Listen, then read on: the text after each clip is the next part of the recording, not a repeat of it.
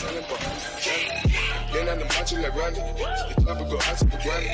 This nigga bandit. The killers. Hi guys, welcome to a new video. I'm back with the GOAT Edition content opening when I pre-ordered Madden 18. So I've already recorded my original pack opening, as you can see by the coins in the top right just there. And I am now going through my GOAT content. As you can see, we're revealing the players now. We've got Patriots Tom Brady at 85. We've got Barry Sanders from the Detroit Lions.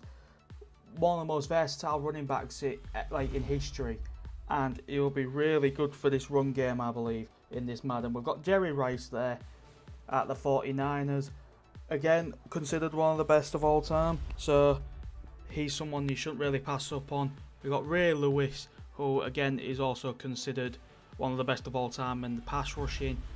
And he'll be a good user to use in online. And we get Deion Sanders, one of the fastest players I used last year, and he was just ridiculous. So here I was just contemplating who to pick obviously I check out my run game and I've not really got anyone good, so that's why I was looking at Barry.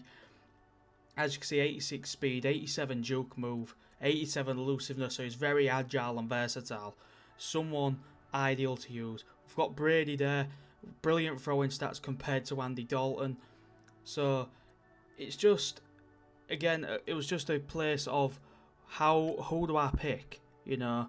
But I decided to go with Barry Sanders because it will really improve my run game as he's got brilliant stats. Not one of the best truckers, not like with strength wise, but he's really good at juking, which is why I go with Barry. And squad offense, so it helps improve your depth mainly. Mitchell Trubisky, I got Rod Johnson, some silvers not even worth mentioning. Jeremy Langford, Demario Bird, and Kobe Hamilton. That's just what, what really the packs look like.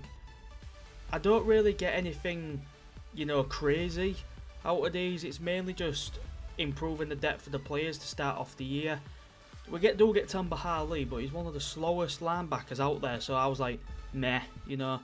I might sell him for about 10, 15k, which I actually did as well. So Harley is not really anyone to shout at. Um, opening the next one, again we got another elite. Oh no, this is the fantasy pack. Sorry, this is the elite players you get when you pre-order the pre-order the game. You get they're all 80 rated, so there's no point, you know, going for each player. So I just flick through most of them. On this screen, I'm just deciding who to go for to improve which position. I look at Richard Sherman, but as you can see, I already have Bryce McCain and Champ Bailey. So I was like, I don't really need a corner. Plus Sherman at 78 speed, he's just going to get beat by most receivers. So I look at JJ Watt as well only standout strength stat is his strength, and so I was like, he's not really going to be good on the ball. So I look also at Xavier Rhodes. Again, Champ Bailey just destroys him in coverage stats and whatnot. So I'm just looking through. I could have gone with Aaron Donald since I'm a Rams fan, but I've already got defensive tackles. So I'm like, I don't really need him. Um, so I'm just looking through. You got like the Rodgers, Muhammad Wilkerson, Odell Beckham Jr., Julio Jones, Carson Wentz, and so I just had to look at Beckham's stats. As you can see, I've got a few receivers already. And Snead's already faster than him. He does beat Torrey Smith in stats though, but again, 82 speed isn't ideal. Because he will get beaten by a lot of corners and defensive players. So I just keep looking through. There's David Johnson, there's Jamie Collins, Von Miller, Sammy Watkins, who has just been traded to the Rams about a week ago. Um, I look at Von Miller, and as you can see, my left outside linebacker situation is not great, so I do pick up Von Miller. He's got okay stats for a starting linebacker for the time being, which is why I went with him, because I think I've got a 75 gold in there at the minute. So Von Miller gets straight to the starting spot, good pass rusher, and we'll carry on with these packs now. Silver and another gold, Dwayne Harris. So I'll get back to you when we get someone good. we get an elite and we get Eric Reid. Eric Reid is my starting strong safety, so he went straight into the team, and he's still in my startings now actually because I haven't really upgraded many positions. I've still got about 300k I'm sat on. but I have improved my team to an 82 overall because I have got quite a few upgrades in. So Xavier Su'a-Filo, random name, Case Keenum will go into the Vikings. I'm glad he's gone. He did aid us in a few in four wins last season, but it was just we need to improve on the Goff situation, which is what we're doing.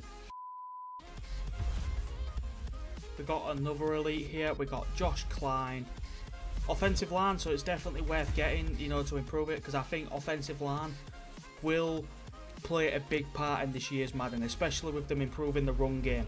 Because I have been playing a lot of MUT squads with uh, Liam and Leon, a couple of friends of mine who do also play this game. And it is a lot of fun, but we utilise the run game a lot. And if we could get Chris Long, another, well, a defensive player. So that's definitely, uh, again, going to improve my defence. Um, so, like I said, I do get a few elites out of here, which is quite alright. But again, a lot of it is just filler. It's just depth added, and also a lot of the players I will be using for such as like team leaders when they're eventually released. Also team tokens to help improve players as well. So they've definitely overdone. Like I've already said, they've overdone the Ultimate Team. Like they've brought in a lot of new things, but tried keeping it the same, which is what I think they should always do. In fact, bring in new things, but don't really change it much either. So now I'm looking right through my binder and as you can see A to Z it's just that's how it's laid out really.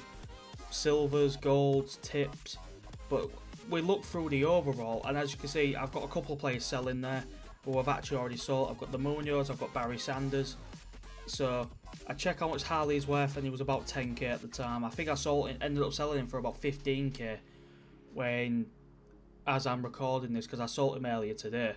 So I got a bit of coins off that. Going through, these are more players I have in my lineup. As you can see, a lot of 80s, 81s. It will come to improving at some time. Chris Long is only about 5k, so I thought, you know what, I'm going to put him in my team. He's a good starter for right end, so I'm going to keep him there. The same with Josh Kline. He's about 8k, so I just kept him in to improve the offensive line. So there's not much there to tell you, apart from we've managed to bolster the depth of our team. Obviously, Von Miller can't be sold because of what, um because he's a fantasy pack. Obviously, can't be sold, like I just said. So he's just in the team. I'm showing you my lineup now. It's a lot more improved to what I've got at the minute because, like I say, I'm post-recording this this commentary. So it's a lot different than what you're seeing on the screen. I say a lot different. There's still some players in there, and um, like I say, I've got the two defensive tackles already sorted, so I didn't need to get Aaron Donald. So that's mainly about it to show you for the GOAT content. That's what you get.